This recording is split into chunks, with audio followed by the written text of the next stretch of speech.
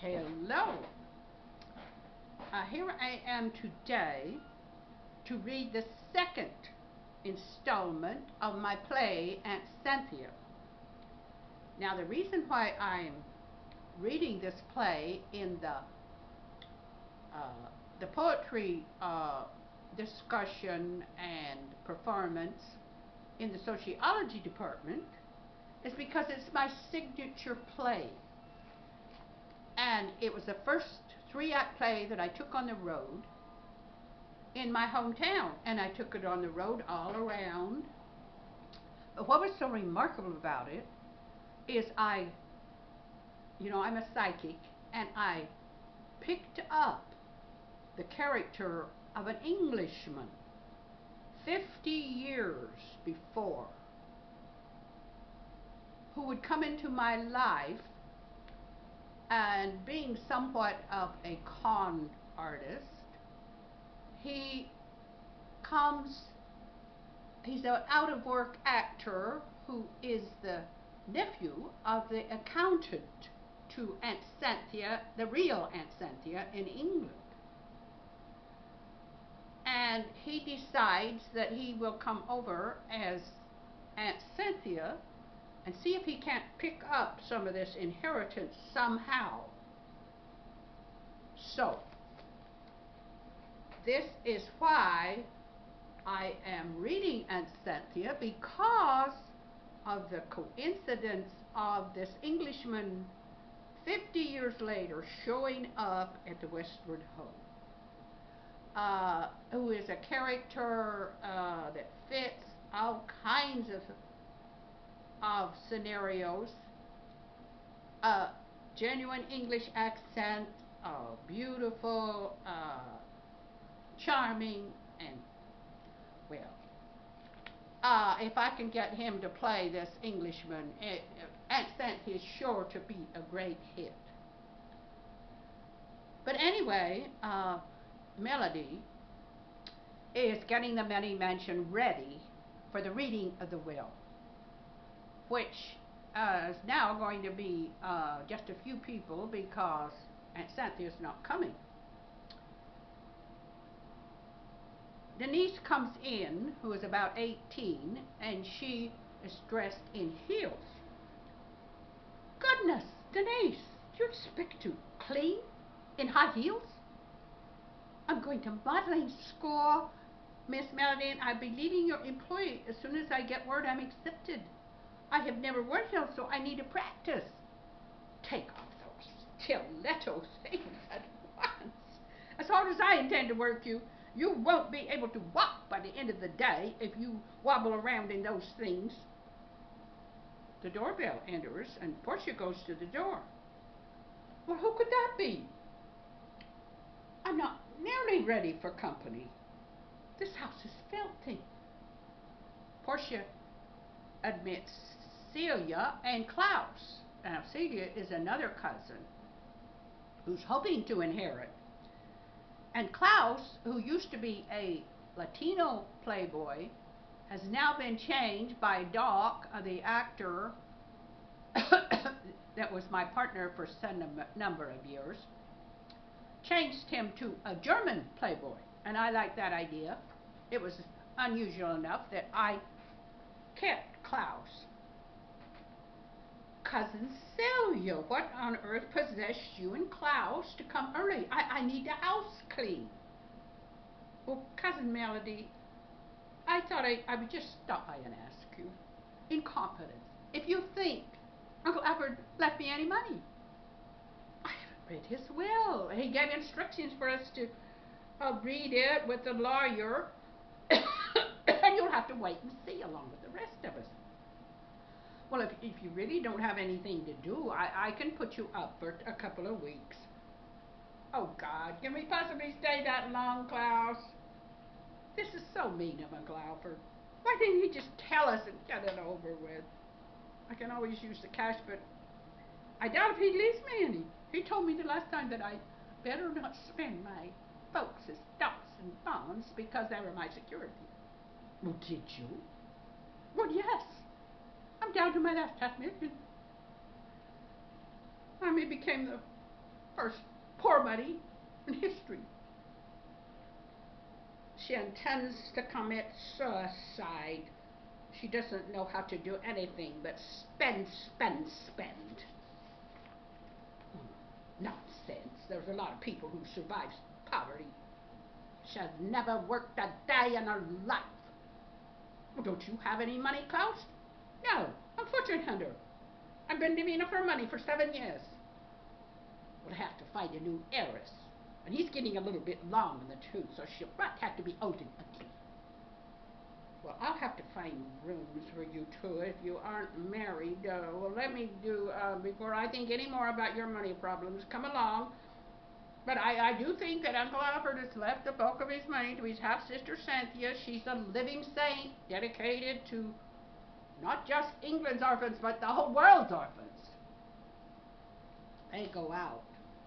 And at that moment, the door opens and Aunt Santhea from England peeks in.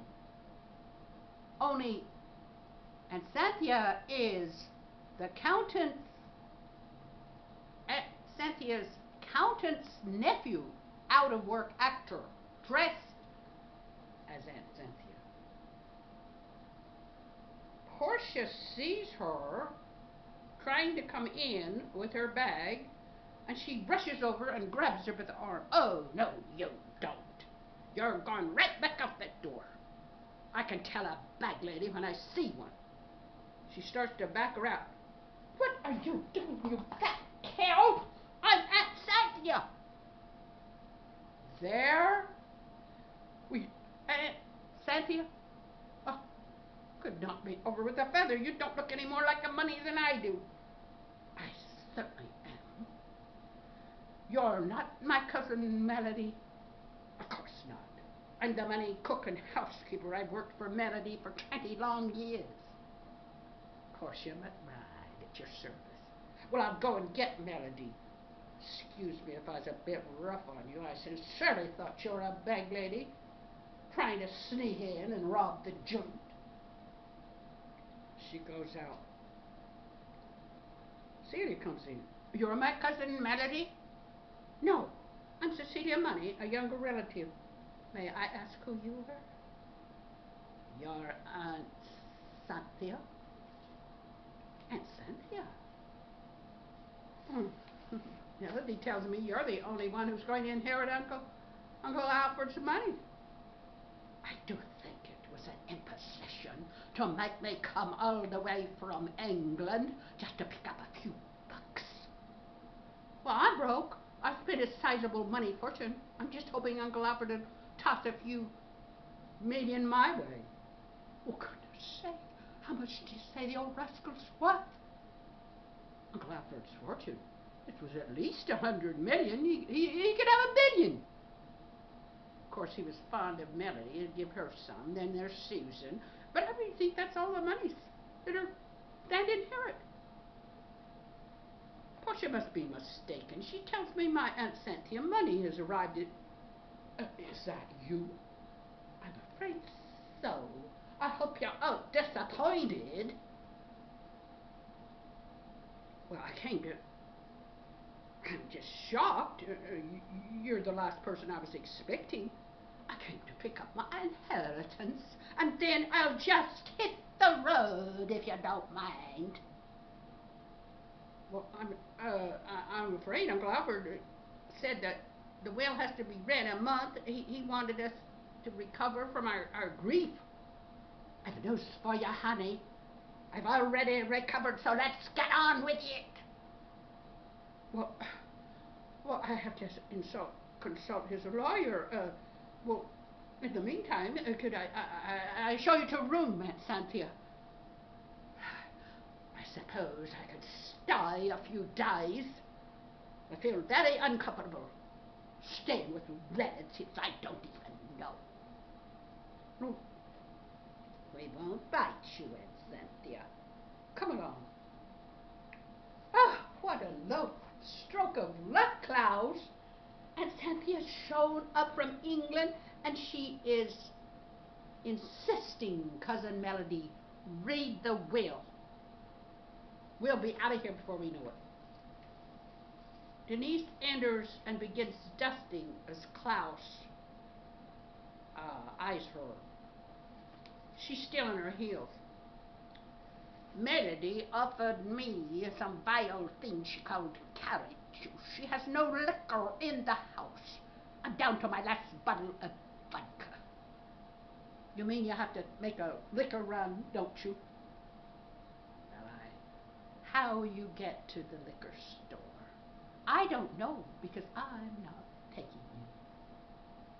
I saw a cowboy out that. Maybe I can borrow a horse to ride since you're such a bitch. I'm sure you will.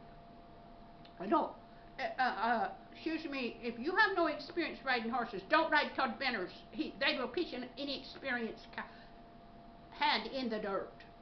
Now my horse is stabled in the in, in the barn, and I will I will lend you him. Thank you, sweetheart. Just point the way. And they go out to the barn. Celie lays back and Melody enters, calls Howard. Mr. Howard, Aunt Santy has come unexpectedly and she expects the will to be read right away. So if you'll arrange it, I think we could aim for next Monday. Thank you. Your cousin Susan has flown off to uh, Europe to get away from me.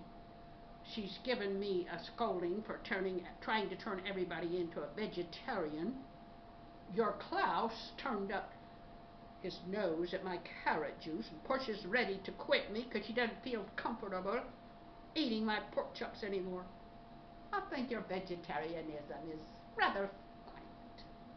If I could get used to Klaus's vodka and orange juice, I surely adjust to your carrot juice. No, I think I made a mistake. I'm going to start ordering the old menus again. I'm going to give everybody a choice. And Portia enters with a dust mop. Portia, there's no use trying to clean now. The house is full of relatives. By the way, I want you to get out of the old menus and we're going to start having a choice again.